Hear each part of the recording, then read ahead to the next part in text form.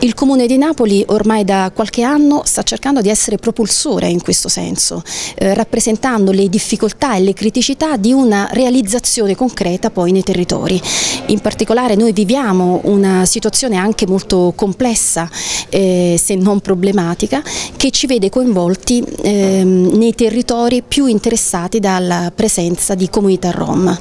e ci vede coinvolti soprattutto nell'inclusione nell anche sociale, scolastica dei bambini eh, e passando attraverso le pratiche che riguardano appunto i bambini eh, si sta eh, realizzando una programmazione che invece guarda alle persone che vivono ormai anche nel nostro territorio da tantissimi anni e che necessitano di attività e di azioni realmente inclusive. Il tavolo interministeriale che definisce la strategia nazionale di inclusione di Rom, Sinti e Camminanti prevede interventi sull'accesso al lavoro, alla scuola, alla sanità ed alle problematiche abitative, queste ultime in un'ottica partecipativa e di superamento delle logiche emergenziali e dei grandi insediamenti monoetnici, nel rispetto delle opportunità locali, dell'unità familiare e di un sistema fondato sull'equa dislocazione.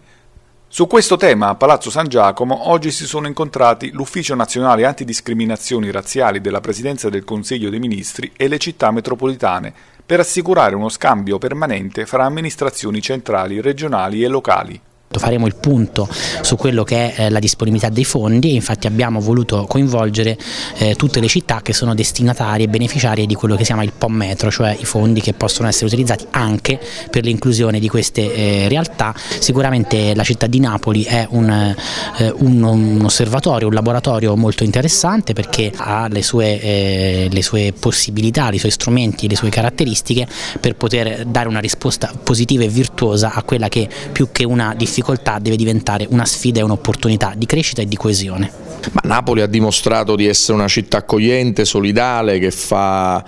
la sua parte fino in fondo con i Rom, con gli immigrati, che vuole una città in cui diritti e doveri siano per tutte le persone. Credo che rappresentiamo un modello, ci viene riconosciuto dall'UNAR per esempio che ha utilizzato parole di grande apprezzamento per la città di Napoli che è l'Ufficio Nazionale Antidiscriminazioni. E così andremo in quella direzione sempre di più con una città rifugio ovviamente eh, chiedendo alle istituzioni centrali di accompagnare anche dal punto di vista economico questo percorso che ha bisogno anche